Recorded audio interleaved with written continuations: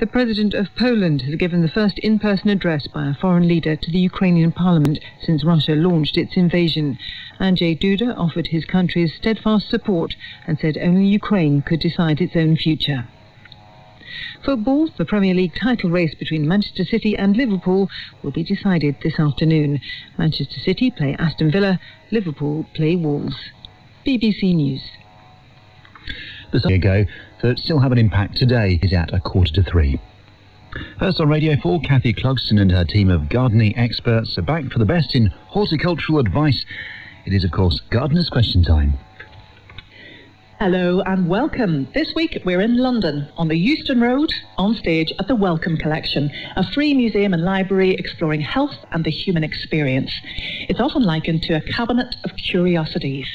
It emerged from the personal collection of Henry Wellcome, a pharmaceutical entrepreneur and keen collector of items relating to the art and science of healing. Well, gardening would definitely come under that umbrella. And today on GQT, we've collected for you a panel of experts chock full of health and human experience. Please welcome our very own Cabinet of Curiosity, Anne Swithenbank.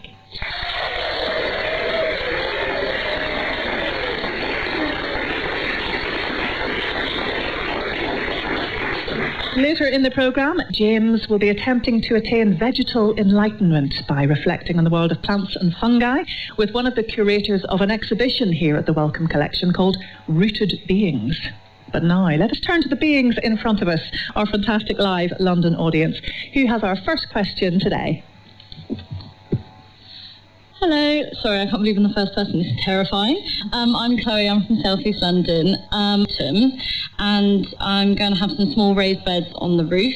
Um, can you suggest any plants that will give interest throughout the year and are no more than 50 centimetres tall? Doesn't have to be that exact.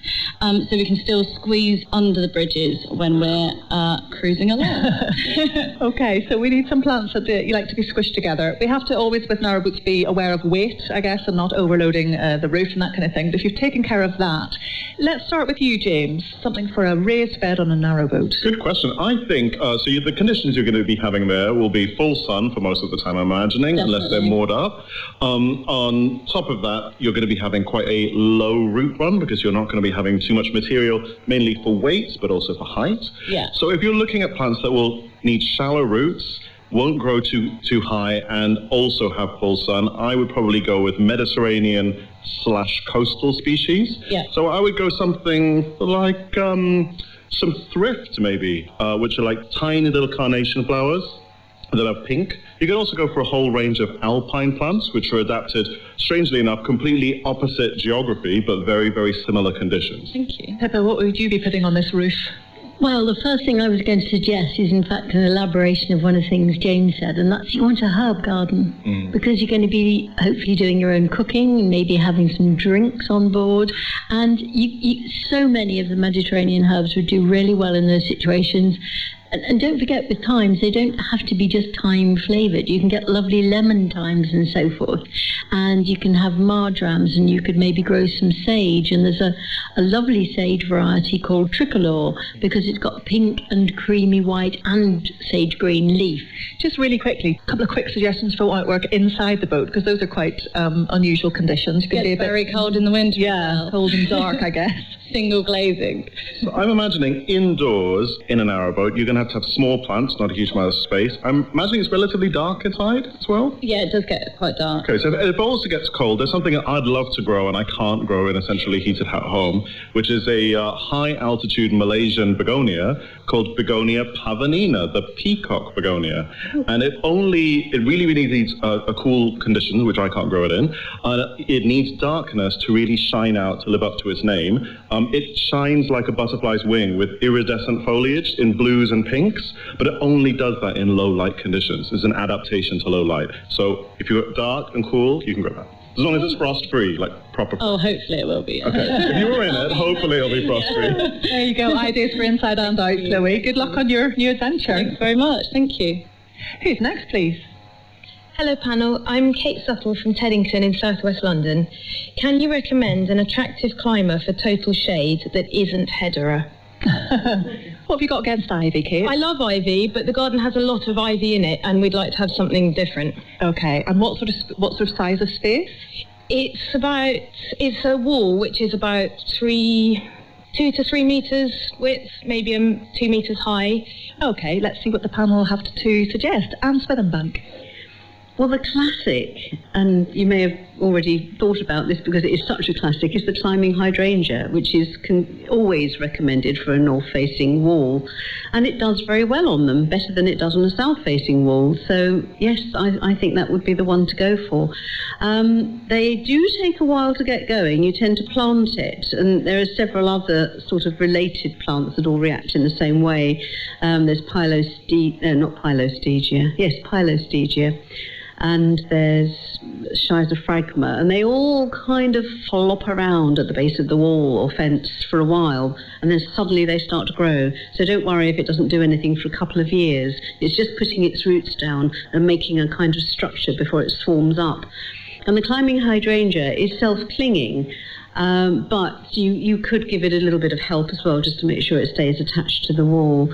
So I, I would go for that. That will go right up a really tall wall as well. And just make sure the roots stay nice and moist at the base, of course. Pippa Greenwood, what would you suggest? I'm afraid I'm shady wall. I was going to suggest exactly the same thing. because it really is the only thing that I know that produces flowers or bracts that really do more obvious showiness really than anything else. James, any thoughts? No, I think those are both really good answers. They're, they're, they're, they're standard answers, but they're standard for a reason. Mm-hmm. Um, so I'm going to give you some wild card ones that we can, you know, if you if you wanted to step outside and maybe gamble a little bit, there are three things you could potentially do. So in London, what we have is the benefit of a slightly unusual climate. Um, it's much warmer here than it is in, in other parts of the UK because of the urban heat island effect. And that means you regularly see plants here that really couldn't be grown anywhere else other than the far, far southwest of Scotland. It's almost Mediterranean, just not quite that warm. So, given that, I might grow something like a Ficus pumila, uh, the creeping fig, which is the kind of thing that's usually sold as a house plant in the UK. Now, I am going to say something that may get people throwing things at me. So, I've constantly talked about how I don't like variegated plants. There is one situation in which I will tolerate them, and that's in really deep shade because the little bits of white can often just bring a little bit of light and life to that space. And there are both forms that are variegated with white and cream and even a yellow version. And I've seen that regularly all through central London. Um, there's also the Chilean bell vine. That really requires lots and lots of shade and a sheltered position. Um, but they certainly have quite a few at Kew and at Chelsea Physic Garden. And Kew isn't right in the centre of London, it's pretty far out. And those produce these incredible, um, well, that's what it says on the tin, bell shaped, pendant, uh, pink and white flowers. Its uh, Latin name is Lapageria. And the final one, and this is a real gamble, um, I've seen Monstera grown outdoors in London, Swiss cheese plant. Uh-huh. Not just once, and actually quite big. So it depends. If this is against a wall in central London, in a really well protected position, I think you could get away with it. Quite a lot to think about there, Kate. That's brilliant. Thank you very much. Let's take our next questioner, please. Um, I'm Teresa Jesse.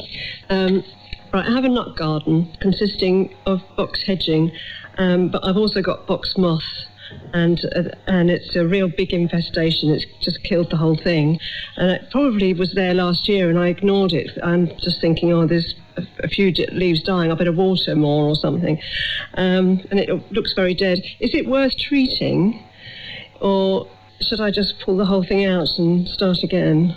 So Teresa's photo is, is with you, panel. Have a look at it. James, would you just describe it for us, what, what the state of this poor knot garden is? Well, it's an immaculately pruned and very well planned out knot garden, but it also looks like it's been napalmed.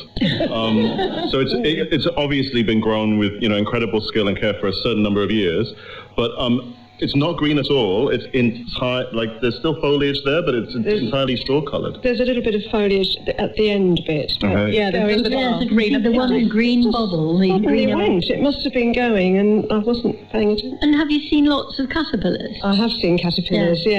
Yes. Because I just wondered whether it's just, if you can say just box tree moth caterpillar, um, and I wondered maybe there wasn't a, a bit of blight or something in there as well. Well, I when I saw it last year, that went through my mind, and I thought, well, I can't do anything about blight. I, you know, maybe I am going to have to start again. Well, I don't like giving up, and that's an amazing piece of clippedness. It looks, I think, rather like a sort of weaving of Cumberland sausage. It's- In- it's- unfortunately, it's- it's a emphasis on brown. it's a failed, um, failed uh, Olympic rings. oh, well, it is amazing. So It was supposed to go round. Um, Oh, yeah, it's sort of Well, yeah. tremendous. You don't want to lose it unless you absolutely have to. So I wouldn't give up quite yet. I'm not saying I think you're going to succeed, but I would want to try and succeed. And what I would do is I would start very promptly treating it, and I would treat it with a nematode based control. Which means that it's perfectly safe for wildlife, pets, you, and anything except the target there. And I would put that on three times at roughly seven day intervals, trying to make sure, and that's the tricky bit, that you actually can get the nematode spray and you'll be watering canning it on probably or putting it on with a hose end feeder in actually into the depths through all the caboodle that they create. Um, and that is a bit difficult, but that's what I would do because it, it does work quite well. It could take some time. Well, it will probably take some time, but I wouldn't want to give up on it. But if you do have to give up on it, I would say, for heaven's sake, treat yourself to a lovely day out and go to the RHS garden at Wisley. And right opposite the lab where I used to work is a little walled area that used to be packed full of bedding and tulips in my day and now has an amazing display called Thinking Outside the Box. And it is absolutely packed full of all sorts of things that they deemed would be possibly suitable to replace box. So it shows just how they look after a good few years of being pruned. And I hope it doesn't come to that, but if it does, there's some real inspiration in there. It's lovely. Okay, best of luck, Teresa, and thank you. Who has our next question, please? Oh, hello. Um, my name is Susan and I've just moved to New Romney, which is on the Romney Marsh. Help. Um, um, the soil is sandy, having previously been a seabed, and we find shells. Um, what should I add to it? Grit, mushroom compost, topsoil, or all of them? Oh, some pulled faces here on the panel. Susan, what, what are you hoping to achieve? Oh, um, I want to put plants that should be on the Romney Marsh. So you mentioned thrift and uh, maybe um, sea kale and things like that, um, and herbs. Okay, so it's a question of, you know, sh- should Susan be changing the soil or working with what she's got? Pippa? Well, I think if you want to increase the range of what you can grow and make things easier for yourself and also more pleasant for the plant, you probably do want to put a bit more organic matter in there. But then again, if you're also trying to follow the natural flora a bit, you don't want to change it too much. And I would say, I mean, do you know, do you know what the pH of your soil is, how acidic or alkaline it is? No, but that's a really good starting point. Thank I you. I think I think you want to find out, and I'm afraid I don't know because I've never lived in Romney Marsh. But if you've got lots of seashells in there, I'm sort of instantly thinking, well, perhaps it's a bit alkaline mm. because that tends to happen. But I may be wrong. So what I would say you do need to be careful of is something which is very strong pH of one sort or another. And you mm. mentioned that word mushroom compost, and it tends to be very strongly alkaline. So if your soil is already quite alkaline, you don't want to make it even more so. And similarly, if you're looking to have something a bit improved, of an improved version of what's there already, mm. you don't want to whack on something if alkaline is what it definitely isn't. So mm. start by finding out what it is, have a little look at what other people are growing locally as well, and that might even give you a clue as to the level of acidity or alkalinity.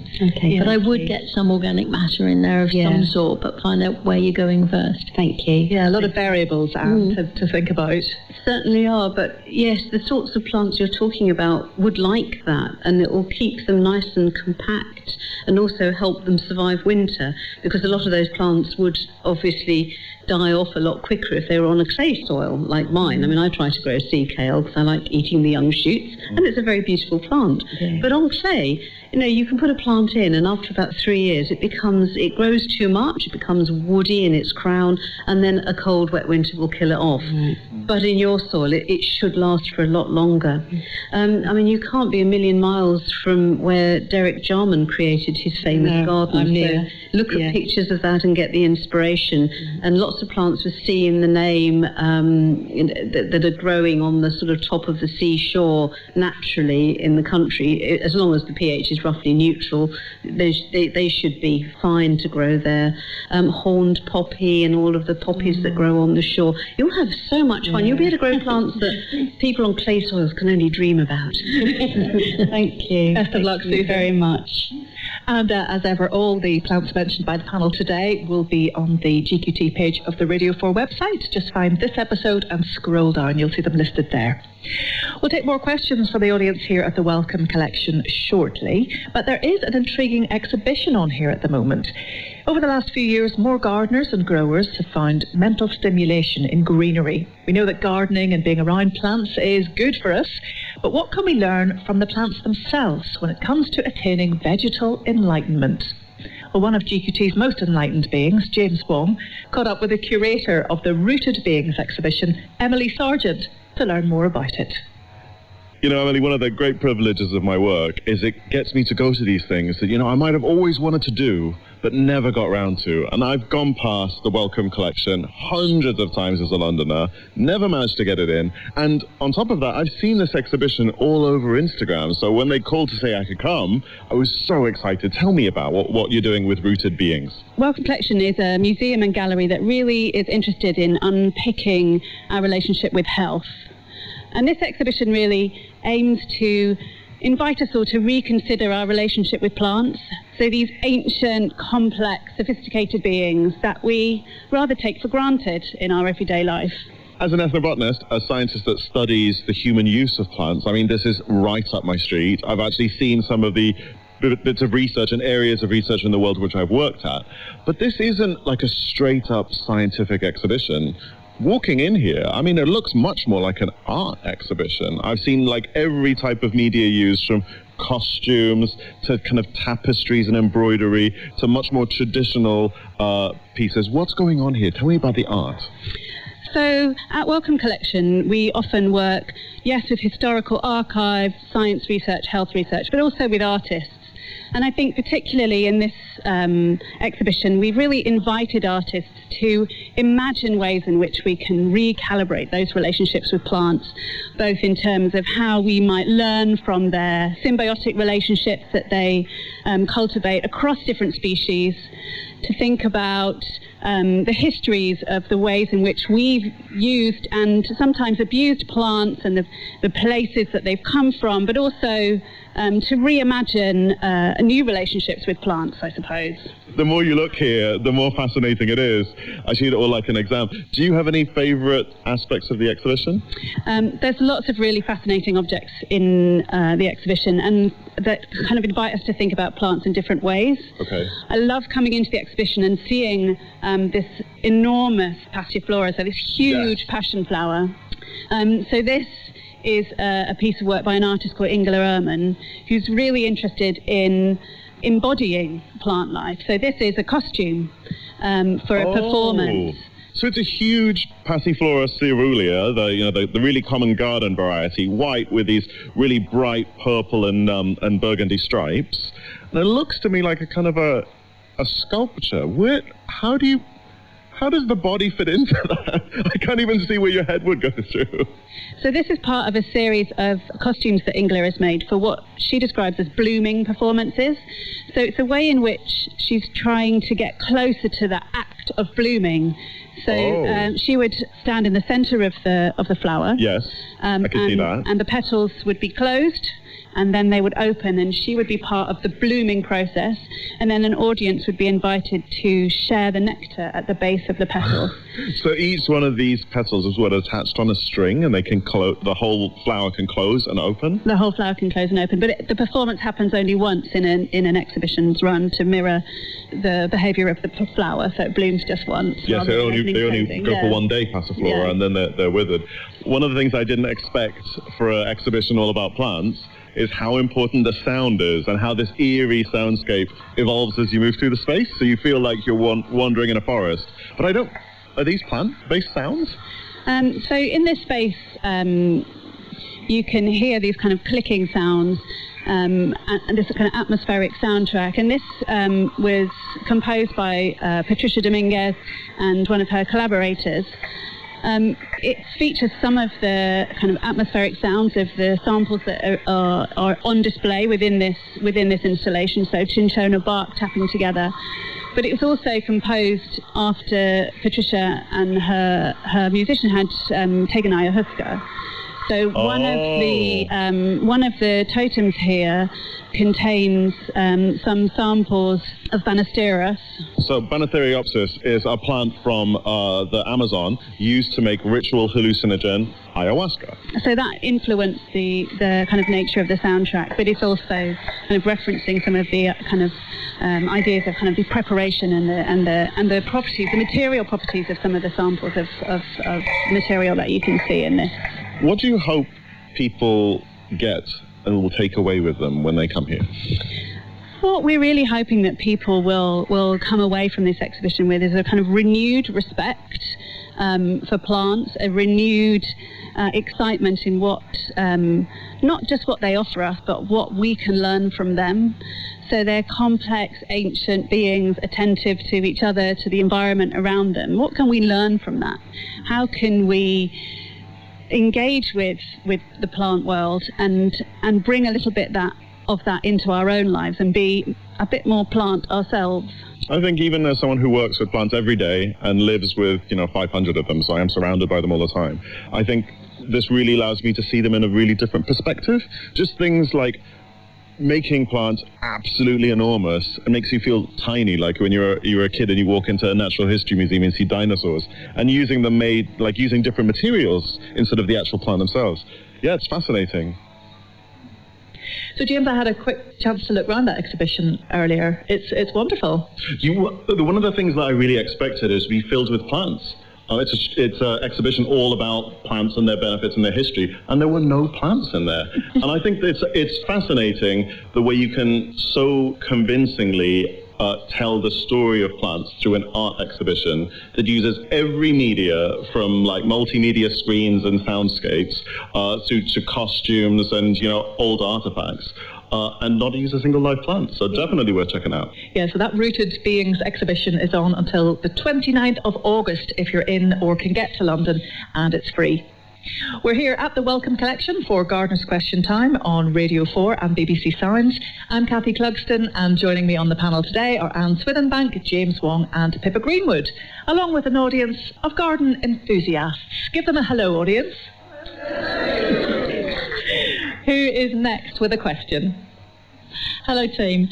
My name's Karen, and I'm from Cheshunt in Hertfordshire. I love my winter flowering cherry tree, Prunus subhirtella autumnalis. It behaves exactly as I believe it is meant to. It flowers in October and November, intermittently throughout the winter, and again with a showy display in March and April. I'm afraid my question is a bit technical. What factors stimulate flowering over such a long period of three seasons? You're just showing off, aren't you, really? You're a fabulous tree. Um, okay, well, we love a technical question on this programme. Alan, would you like to start us off? Why not? Um, most winter flowering plants need to attract pollinators, and there are fewer pollinators on the wing during the winter. So they have adapted to open their flowers over a much longer period. Right. And you'll notice, um, I notice it especially with viburnums, especially with uh, viburnum bodnantense, viburnums that are flowering in the winter. Um, they will often wait with their buds, and then a few buds will open during a mild spell when there might be some insects flying around, and then they will wait again, and then a, during a cold spell, and then again they'll come out. So you, you might find that your cherry is doing a bit of that too.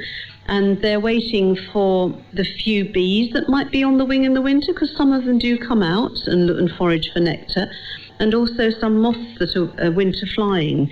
And so as it's cool, their flowers are not going over quickly and they have the motive for making them last a long time and also for opening them slowly and gradually here and there over a longer period. James, would you add anything? Yeah, so plants, um, particularly temperate plants, have a undergo a phenomenon called vernalization, um, and that comes from the word for winter. So mm-hmm. basically, winter causes certain triggers that encourage them to do certain things.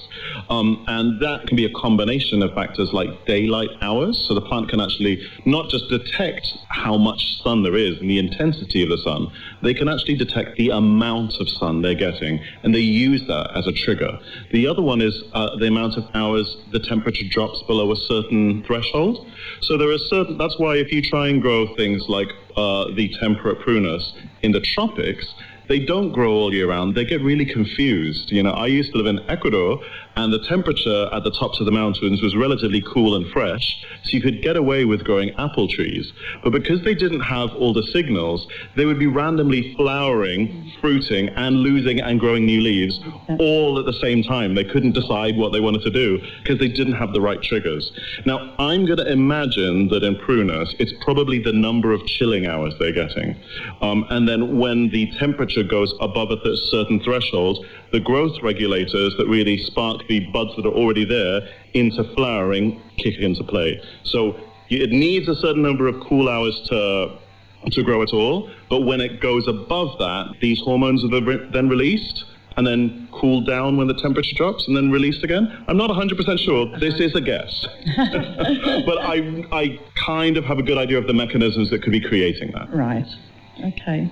It is basically temperature is the main. Yeah. You may need a chilling factor, but it is the actual trigger to do it tends to be increasing temperature. Yeah. But I'd say you're doing quite well to have it flowering noticeably that many it is, times. it's stunning. Yeah. I have to say, it's and when I first had it, I couldn't believe that it, it flowered every spring. I expected mm. it to flower in the in the autumn and the winter, and it took me by every year. I would think, well, it's not going to do this again. And every year, it beautifully flowered spectacularly. I've never well. managed it. To, to, you know, I, I do mean, nothing to it. It's fantastic. Three yeah. seasons, yes, basically. Yes, so. beautiful. Well, keep doing what you're doing, uh, even if it's nothing. It's nothing. I do nothing at all. It's always wonderful. Thank you. Thank you. Who has our next question, please? Hello, panel. I'm Maria from Cheshunt Herts. Um, how do I get the stripes back on an indoor plant that I've divided it? Um, it was one big plant, and I've divided it into three, and it seemed about the same time. It, it had um, little circles of black, and I only know it as a tiger plant, but it's not got leaves. It's just tall round spikes. Yeah, I think the panel are nodding. It's about, about this tall. A lot of the audience, I think, I think they know what it is. Oh. And what's happened? So you've you've divided it. Yes. And and what's happened? And it's just faded back to green. Ah. It hasn't okay. got the black rings. So, James, you're nodding away. You've got a good idea what the plan might be? I think I do, but then I'm going to look like that kid that knew all the answers in school and then didn't, well, and I wasn't. It's very hard to know. I, I'm assuming it's a more of the columnar-shaped Sansevieria. Do you reckon that could be it, Anne? Yes, I Just was checking. thinking the same lines, but I'm worried Mm. about the black rings. So these look like fingers that Yeah. pop out the surface Yeah, of the soil, exactly, but they're, yeah. they're Yeah. sort of like if I was to take a rubber glove, uh, pop it out the soil, spray it green, and then it had concentric dark Yeah, rings around the, the outside, then I, I'm pretty sure that's what it is. Mm. Um, there are two reasons why you can lose variegation. Um, one of them is you're growing the plant in a really dark environment, and it stops to pro- it stops producing the variegation, so it can get the most out of the sunlight. Okay. The other one can be division, and it sounds like you have that. Mm. And that's because variegation is usually created by what's called a chimera. So you have two genetic individuals that occupy the same body. So uh, it's like you have an evil twin and it's living in your body. Um, it actually happens with animals as well. So sometimes when you see a black cat, uh, and it, it has a white side to its face and a different colored eye. You sometimes see it with uh, fruit as well. You have an apple that's perfectly red on one side and a really, really clear break, and then it's perfectly green on the other side. Uh, if you look up the word chimeral variegation, um, it's, it's found throughout uh, the, the animal and plant kingdoms. Um, and I suspect that when you took your division, you split the plant and only kept one of the two chimeras that are living in the same body. Okay. And so in that case, it's genetic and you can't get it No. back. If it is light, like to do with light, the darker environment will suppress the lighter colored twin and a brighter environment will encourage it. It would be interesting to put some of the new the new offsets, as it were, back to wherever the original striped plant was Mm. to check out the daylight thing. But I also think sometimes you get, as a result of transplanting something or dividing something, it goes into a bit of a shock. It throws a bit of a wobbler, Mm. and then I I wouldn't be at all surprised if given.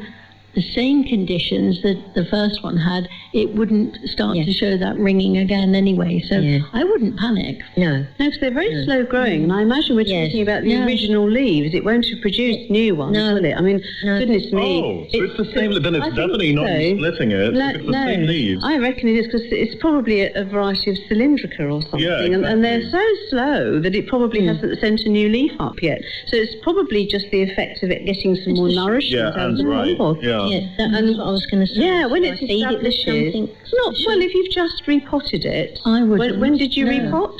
A couple of months ago. Oh, No, it, it'll be fine for a while, won't Yeah. it? Mm. And then you can start feeding it, but a little bit. It's gone into its new compost and thought, oh, this is nice, yum. so it's hmm. absorbed it and it's actually sort of changed its colour because it's happy. Hmm. And you'll be very careful with the watering because when they've just been repotted, they hmm. can very easily be overwatered. But when once it's settled and filled the pot with its thick, fleshy roots and begun to send up some new shoot, new leaves, then I think it will gradually come back to its variegation as long as it's in reasonably good light. Yeah, Anne's 100% right. If, it, if it's the same leaves, then you wouldn't have done that. It, the, the case in which what I said would be the case is if you had a variegated aroid, for example, which has really white patches and really green patches, and you accidentally cut a bit off that was just the green one, then that would happen on its new leaves. But if it's the existing ones, you've got the same genetic combinations. It's a shock Yeah. factor, I'm sure. Mm-hmm. Yeah, but nothing Yeah. too much to worry about, Maria. No, lovely. Thanks Thank for your you very much. Before we move on to our next question, I just want to dip briefly into the GQT email inbox. Boyana Conar in North Lancashire wrote in to say some lovely things about the programme, so thank you, Boyana. But she went on to say, after listening to the latest show today, I felt compelled to write to the esteemed panel member James Wong Uh-oh. and defend the honour of watermelons. James mentioned them not being particularly sweet, and I beg to differ. I would like to invite him to a watermelon tasting in Bulgaria in August, and I guarantee he'll change his mind. What is this, Twitter? Yeah, well, uh, do you remember recall saying this about I did. I do recall I said that, um, and I will. I will also add that yeah, grown in a climate like Bulgaria, um, which I've, I've, I've been to, um, and I haven't had watermelons there, but I've had watermelons in the region. I've, I've eaten them in places like Serbia, and they are ridiculously sweet. And there's a really good um, biological reason for that: um, higher sunlight levels and lower rainfall levels. What that creates is plants are living solar panels, and they create sugar using the sun. And when something has lower water levels, not only does it have higher sugar, there's less water literally diluting it in the fruits. And also, um, very often in these regions, these are uh, plants that are grown in a slightly different, less intensive way. So they don't have as much nitrogen fertilizer, for example, or they're not varieties that have been selected, modern varieties are selected for movement and storage. Uh, and they, the production chains are smaller. So I'm 100% that watermelons are sweeter there. What I meant when I said watermelons are relatively, there's a lower sugar content, if you compare them to like grapes, where the sugar content can be something like 50% of the dried weight. A watermelon is much lower than that. But I'm casting no aspersions on exotic Bulgarian exceptions to the rule. Okay, so Bulgarian watermelons really are sweeter, and Yeah. uh, looks like you've got yourself a date, Boyana, in August. Let's go. if you would like to contact us about any gardening related question, it's very easy. Just email gqt at bbc.co.uk or you'll find us on Twitter at bbcgqt. Let's get back to our audience here in London. Who's next? Can I come with you? Let's go on a melon eating day anytime. I love watermelon. um, hello, I am Pearl, and I live in West London. And I had a rosemary which just evolved into a topiary cube next to my front door. And then it got this sort of white fungus, and so I had to murder most of it. and cut off all the dead branches. And then it was okay, sort of half of it, but the fungus came back, and I do have a picture if you want to see it. Oh, yeah, we're into forgetting everyone's And, um, today. It-. Can I save it? So, like a scale in. Pippa, here's a picture. Let's have um, let's have your expert eye on that. The white fungus. The lovely thing about a phone, very nice phone, um, is that you can zoom in, and I am pretty sure we've got quite a lot of cut stems. I'll pass it along to the rest of them. go. But I'm pretty sure that I can see some scale insects there, and that there are some scale insects which produce a lot of white waxy fibres, and it makes them look like a fungus. It looks like a sort of hyperactive downy mildew, really. Yeah. And those are actually the egg masses, and then they have a little brown, fairly boring looking shell part, if you like. And, and that makes it look all the more just like a bit of rough bark with white fungus growing out underneath it. And they, there are, there are certain ones which will certainly feed quite intensely on rosemary, and they feed by sucking the sap. So they really, of course, it starts to die back, which is why you've had to, I think you used the term murder, didn't you? Which is quite dramatic. But you've had to murder it in parts, but you haven't killed it off yet. So So- do I need a magnifying glass to look no, I think I think what you have to look at is look at the white fluffy stuff, and sometimes you get a sort of uh, splurge of white fluffy stuff, which is the egg mass, and sometimes you get a central blob, which is the insect itself, but it doesn't look like an insect because you can't see an antennae or legs or anything exciting. It's just all sort of packed under this little shell, and then you'll see the white waxy fibres, and I'm 99% sure that that's your main, if not your only problem. So I would try and a, remove those if you possibly can, and something like a toothbrush is very handy with soapy water. And you can't really legally use soap as an insecticide. So of course, I'm not suggesting that. I'm saying that you, you just use it to wash off those little insects and their eggs because you don't want to have them accumulating like on the very plant. liquid, sort of. That's Any sort of liquid would liquid soap would do, or washing up liquid kind of thing, but not too much because you don't want to damage the plant. But it will help to wash them off, and that will that will help. Okay. Thank you very much. Let's squeeze in one more question before the end of the programme. Hi panel, uh, my name's Rosie Loveridge, I'm from Tooting. I wanted to ask if any of the panel ever named their houseplants, and if so, is there a story behind the name? For context, I have a Swiss cheese plant named Jesus, who I found after someone had thrown him out of a flat window onto a construction site in January. He started coming back to life on Easter Sunday. oh, amazing. Yes, I have um, a plant called Nigel Gibson. Um, Pippa. You have, why does it have a surname? It just does. Okay. A very proper sort of plant. that's all. well, I had a yucca called Bob. After Bob Flowerdew? Uh, no, no, long before I knew. No, this when I was a student. It came from home in Putney and it went up to Durham for three years and it had one very nasty experience when in my final year I lived out, not in, in college, and um, one of my housemates didn't like Bob. And uh, in a, I think rather drunken stupor, he put Bob in the back garden. And this was County Durham, Durham City, snow. Um, but Bob actually survived and was brought inside, and a lot of apologies had to be made. And then went to Reading with me after that, and then has been moving round and eventually finally turned up his toes a few years ago. Oh, But, yeah, R.I.P. Bob. Good. Um, it's normal to name your plants, right? Well, yes. Um, but, say yes. Um, funnily enough, I name my cars, but I don't name my plants. But you've think too many. person who would, You I don't. have a spider with a name that lived on your wing mirror. Clarence. Yeah, well, there you go. I couldn't remember the name, but I remember on one recording, Anne proudly announced that Clarence, now I remember the name, had got all the way there successfully, and I just hope Clarence got home. But it he was, never it told was us. awful because he, he used I like how you said that, like, obviously, Clarence. well, he was quite it was quite friendly, but I used to worry about him because obviously his web was on the wing mirror, and um, he often didn't. He often forgot to tuck himself away as we set off on a journey, and he'd be wobbling in the wind. And I think, Clarence, get in, get in, and and he often did, and he would go miles. And no, I, I don't know what eventually happened to him, but going back to the house plants, I, I'm ashamed to say that I don't. I, I pat them, talk to them, sing to them. I generally re- address them all as you.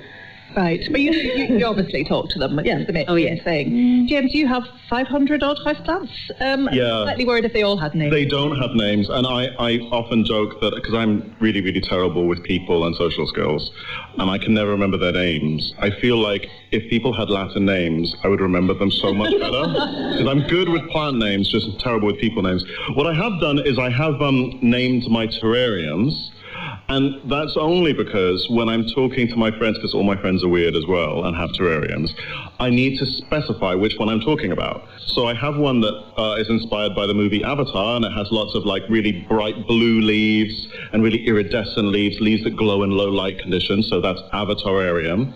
I, ha- I have one that's like inspired by Jurassic Park, my favorite film. Yes, I'm 40. And uh, there is a tiny little raptor in it, so that's the Raptarium. Uh, and then I have one that's uh, the King Kongarium, because it's, it's inspired by Skull Island from King Kong. So it has like these big cliffs. I won't tell you too much about it, but so the, the terrariums are named, the plants are not. Yeah. Okay. Have you only Jesus or other members of the family? Um, there's only one other plant in our flat that has a name, and that's an enormous Strelitzia reginae, which my boyfriend named the pterodactyl because of the uh, flowers. Amazing. Excellent. Yeah. Well, thank you for the lovely question, Rosie. And that's all we've time for this week. Thank you so much to everyone who asked a question, and thanks for joining us wherever you are. Now, most of you will be well aware that the RHS Chelsea Flower Show gets underway next week. And for the first time in our 75 year history, GQT will have its very own garden at the show. We'll have the first in a series of special broadcasts from Chelsea next week, so don't miss that. Until then, from me, Kathy Clugston, our wonderful panel, James Wong, Pippa Greenwood and Anne Swithenbank, our audience here at the Wellcome Collection in London and all the GQT team, it's goodbye.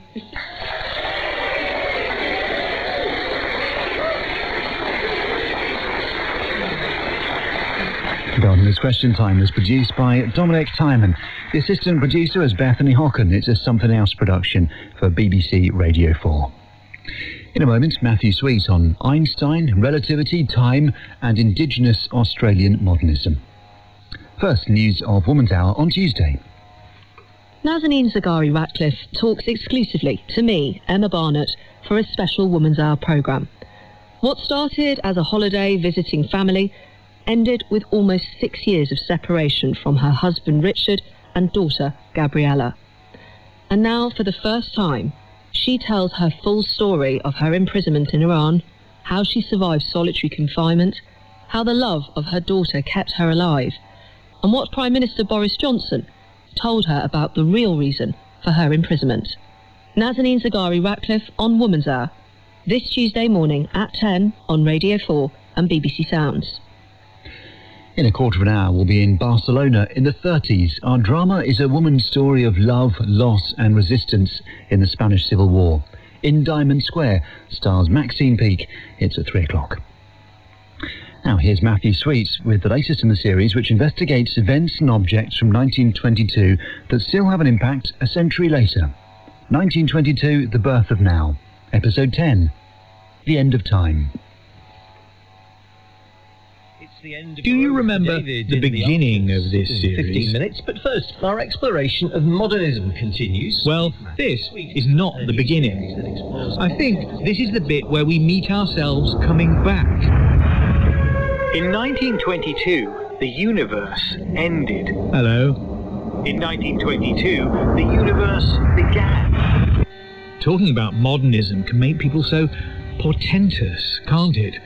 Or do I mean pretentious? You can only be portentous about an event in the future, and if 1922 was the future, well, all that's behind us now. The universe it brought into being was a place of radical uncertainty, a place of revolution and rebellion where everything was called into question. Yes, I said that, but could a top theoretical physicist be persuaded to say something similar? Certainties and fixed ways of thinking about the world are indeed breaking down there. They're breaking down in the face of experimental evidence. The power of the new uncertainty, Yeah. if we can put it that way, that came with relativity and with quantum theory. That uncertainty grew from the certainty of, of experimental data. That means that we have to let go of things that we were very certain of and embrace a new, a new uncertainty. That was the top theoretical physicist, Faye Dowker. Of that, we can be very sure.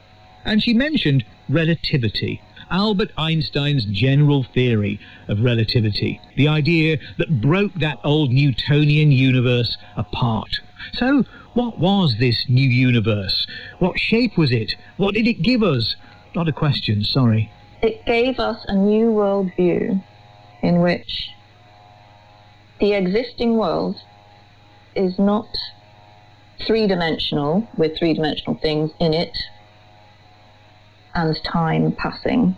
But the world, the really existing physical world, is four dimensional. It's the, the world view that it gives us is one of history. So I am my history, and you are your history. That's the most meaningful way to talk about anything that exists, physical things that exist. Now, right at the beginning of this series, we said that 1922 was an important year for Einstein, and therefore an important year for space and time.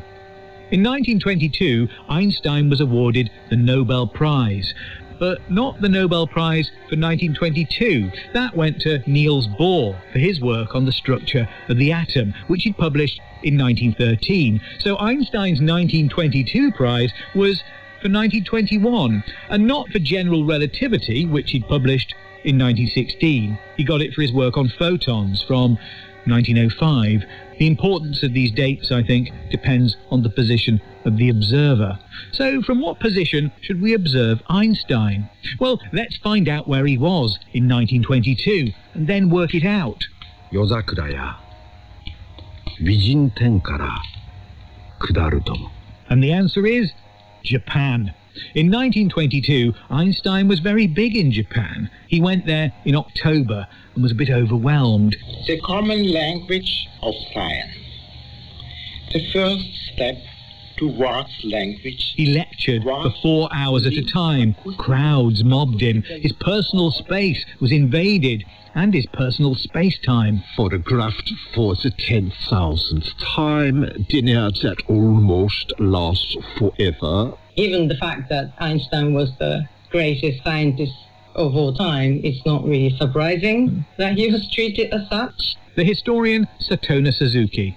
And also, there was this culture of omotenashi in Japanese. Um, I, can, I don't know whether you heard of it. No, tell me about that. It's an incredibly attentive Japanese hospitality. The idea is to show respect and hmm. appreciation towards guests without expecting anything in return. The hostess of the inn is deeply thrilled and on her knees bows her head to the ground around a hundred times. If you're not used to it, you might feel that it's over the top, like Einstein did.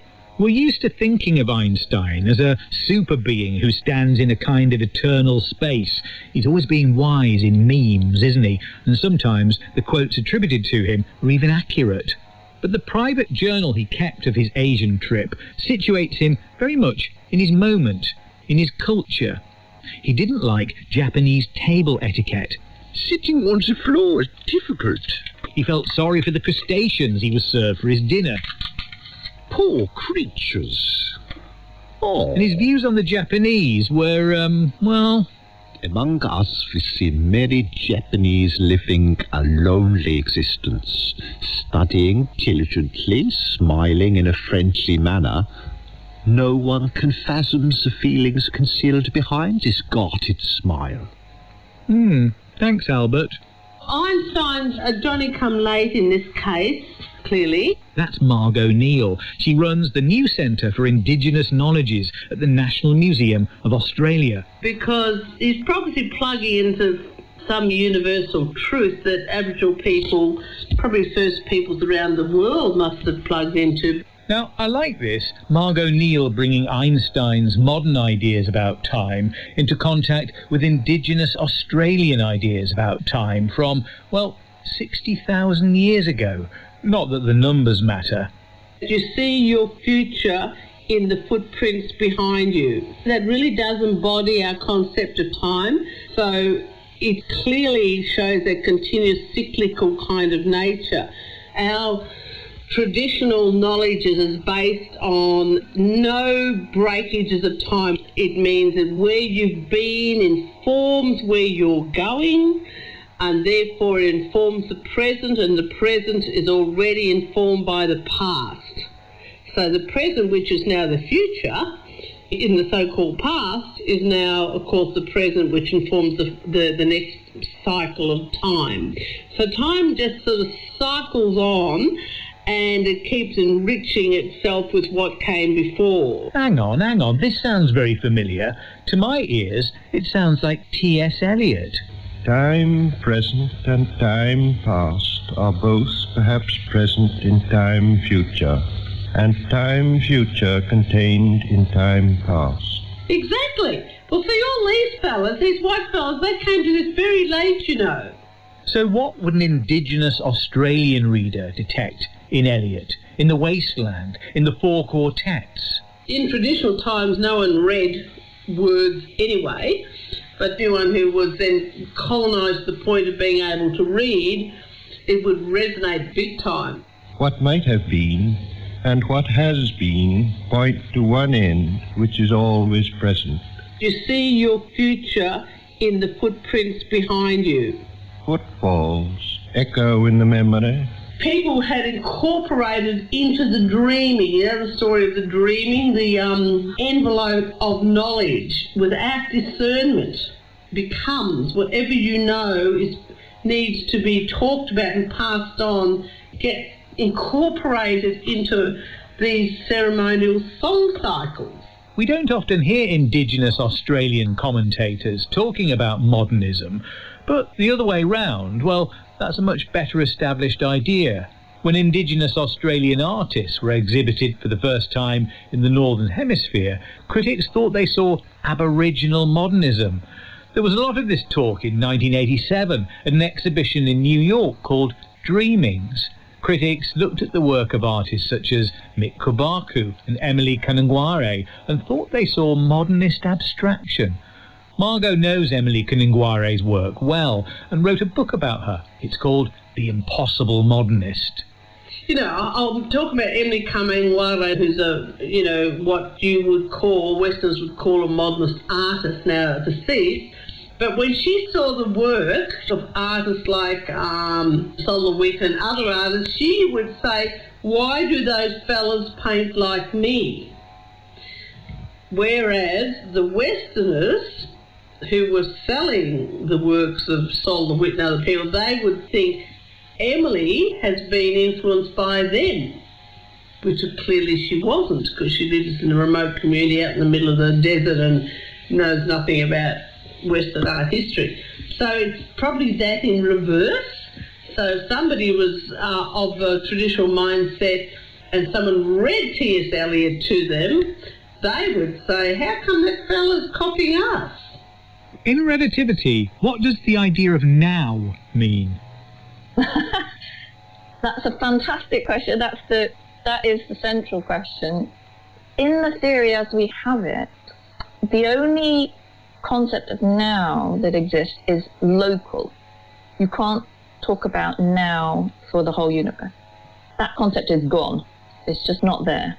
You can, I think, talk about local nows. So there's now for me, now, now, now, now. And you, presumably. In the studio, there's now, now, now for you. And those things are not coordinated with each other. You can't coordinate your nows with my nows. That doesn't, that's not possible. But there still are individual local nows for you and for me, and for everyone else, and for everything else. Now. The modernists of 1922, lots of those whose voices you've heard in this series, claim the now. We have a literature. Carthage then I came, burning, burning, burning. Gone, Philomel. Which gave everyone who came after them a problem, because if now was then, what is now now? In the second half of the 20th century, some answered this question by dismissing it. The novelist Kingsley Amis, for instance, used to talk about modernism as a blip. But it's not a blip, because blips are quick, and modernism hasn't really gone away.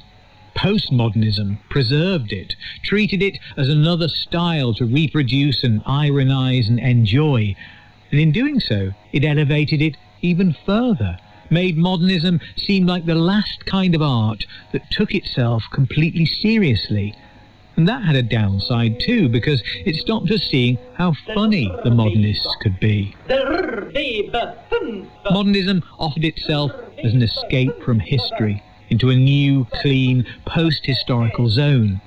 It still makes this offer in smooth, rational spaces, in the pristine lobbies of expensive hotels and those how much apartments by the river. Architectural modernism, you may have noticed, is now for the rich, though once it was available at very reasonable rates from local councils. But you can't escape history, even if you're Le Corbusier. That was a dream that modernism had about itself. Modernism was deeply implicated in its moment, but we've forgotten much about that moment. The big landmarks, Ulysses and the wasteland, remain visible, but we've lost our sense of the land. So that's why in this series I've tried to show what's there. The occult, Mussolini, money from the Daily Mail, cocaine, the rising notes of Louis Armstrong's cornet. Because once you know the context, once you know the history, modernism looks different. It's not diminished, but it's in its place, in its time, in 1922. And in 2022, 1922 can still be present to us, vividly, powerfully. Stephen Dedalus, who is Joyce's representative in Ulysses, says, History is a nightmare from which I'm trying to awake. Modernism, I suppose, is a proposal about what happens once we've woken up. But a hundred years later, many of its texts seem to me to be very dreamlike, full of magic and visions, and we can join those dreams. So 1922, The Birth of Now was written and presented by Matthew Sweet. The reader was Michael Begley and the programme was produced by Julian May. Our drama in a couple of minutes is a story of love in a time of war, starring Maxine Peake. Before that, a fascinating new series starring Tiny Things begins tomorrow lunchtime. Everybody needs insects in their life, whether you realise it or not. Five pioneering insects. One beetle in particular has taught us how to extract water out of thin air. Metamorphosis How Insects Transformed Our World with Dr. Erica McAlister. Insects are some of the most important organisms on the planet. They can adapt from one environment to another. We can learn so much about how we too can live in a changeable environment. Metamorphosis How Insects Transformed Our World. This Monday to Friday afternoon at 1.45 on Radio 4 and BBC Sounds.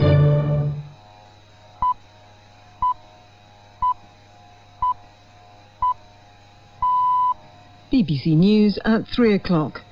Government ministers have insisted there's been no attempt by Boris Johnson to influence a report into Downing Street parties as the deadline approaches for those who face criticism to give a response. Anyone named in the report by the senior civil servant Sue Gray has until 5 o'clock to respond. Our political correspondent Jonathan Blake says that while there are still a lot of unknowns about the document, its publication will mean a bumpy time ahead for the Prime Minister. There'll undoubtedly, I think, be some uncomfortable reading for the Prime Minister and others, given what Sue Gray said when her draft report was published earlier in the year, failures of leadership and judgment. Uh, but the, the scale, I think, and the, the level of detail that's um, laid bare by this report when it comes will be crucial for Boris Johnson. One of the UK's biggest energy companies, E.ON, has warned that the number of its customers in fuel poverty is set to double from 20% to 40% by the autumn, when prices will be reviewed again. The company's chief executive, Michael Lewis, has called on the government to take substantial action to help households struggling with bills. The Ukrainian government says it won't agree to any ceasefire or peace deal with Moscow that would involve giving up territory.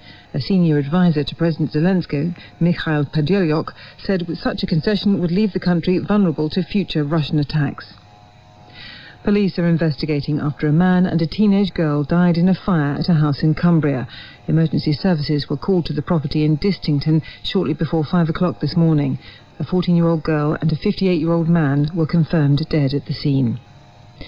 The annual World Health Assembly meeting in Geneva is discussing a rare outbreak of monkeypox.